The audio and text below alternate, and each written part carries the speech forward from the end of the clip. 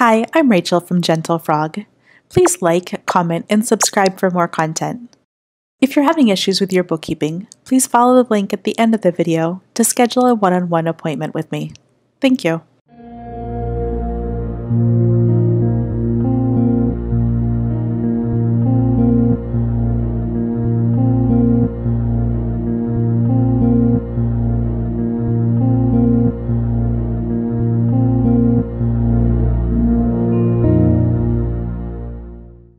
So here I've deposited the money from my credit card, went into PayPal, increased my PayPal balance. I then spent the money out of PayPal and it went to my expense. So that's this one. So hopefully you're feeling pretty good. I want you to feel good because the next part I want you to have an aha moment, not a what happened there.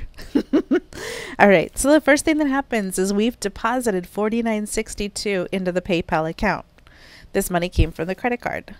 So we're going to go here. We're going to go transfer.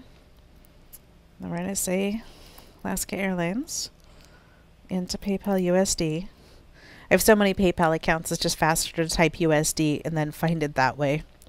So then my transfer amount is 49.62. Now again, I'm not writing in Y doesn't matter. I like to think of this as one step at a time. And this one particular step is that I transferred money. Now, the why I transferred money doesn't matter. The why comes later when I spend the money. So just keep it real simple. I've deposited money into my PayPal account. So I can see 4962. I can see it's in the deposit column.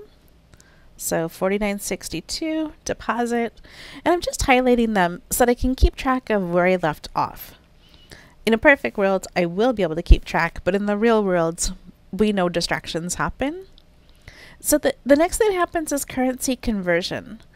And so currency conversion, it says that it happens on 830. I'm going to come down here into my transaction history CAD, and I only have one currency conversion on 830.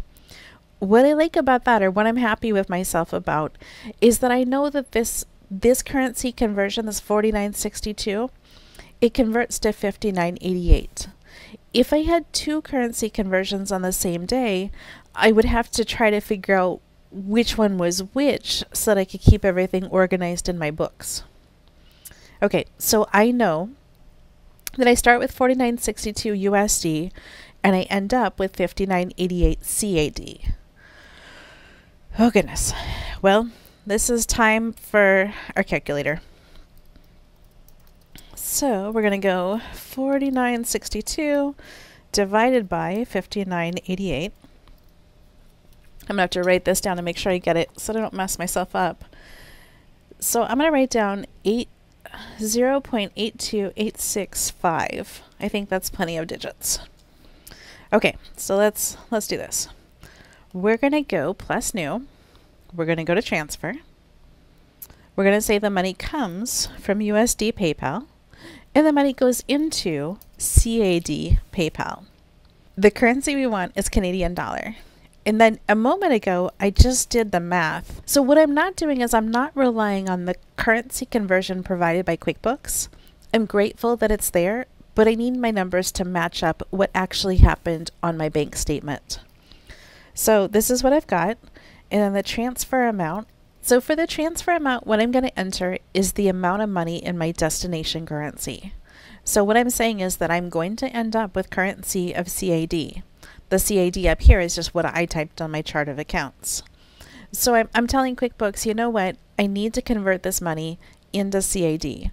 When I get done, I need to have this many dollars in CAD. So I'm going to choose Save and Close.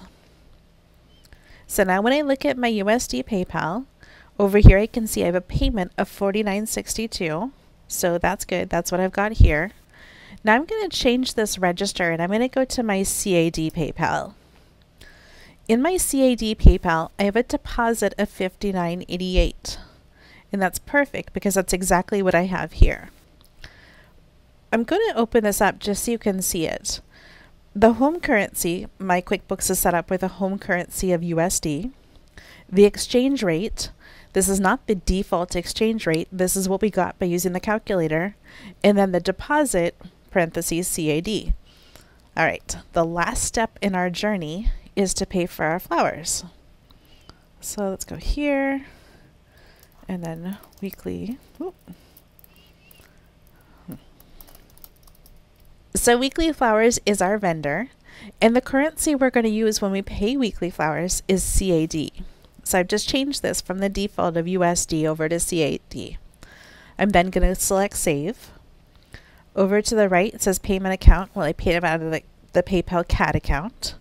This conversion here doesn't matter because I'm paying them out of the PayPal CAD account. So down here, down here, let's go gift, office. Okay, we're going to call it office supplies.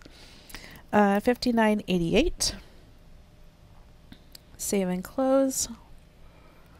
Perfect. So now when I look at my PayPal account, I can see that I paid them 5988. It is telling me the USD or the, the home currency amount. It's doing that so that when it generates my profit and loss, it can generate it based on my home currency, in this case USD. So I don't want you to worry about the fact that the home currency is different from the currency that you transferred over. That's just how currency fluctuation works.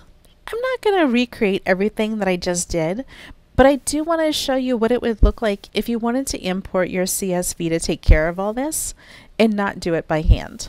So this is the CSV that I exported from PayPal. What I have is I've got all of it, right? Like my CAD and my USD, it's all combined into one CSV file. I know that it's combined into one because when I look at column E, I can see USD and CAD. What I would recommend is if you wanted to import this into your QuickBooks, do a file save as and make two files. Label one the USD file and label the other the CAD file.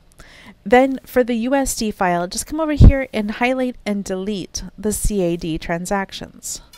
For the CAD file, come over here, highlight and delete the USD transactions. You'll then be able to upload the file into QuickBooks Online.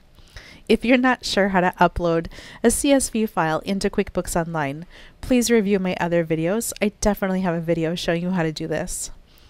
I hope this video has been helpful. I hope you understand just a little bit more about PayPal transfers and possibly multi-currency. If you have any questions or if I can help in any way, please don't hesitate to let me know.